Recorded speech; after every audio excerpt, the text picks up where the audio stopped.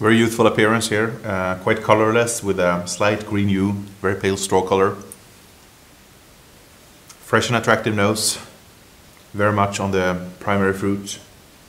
Clearly Sauvignon here with uh, fresh herbs, with barely ripe green apple, fresh herbs, lime, no indication of oak, and uh, yeah, quite floral, grapey, almost with a sensation of fresh grapes.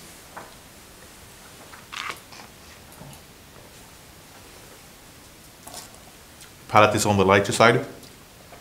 Good crispiness, fresh acidity, still um, youthful zesty bite on the palate, and um, medium long finish. Attractive wine for uh, early drinking.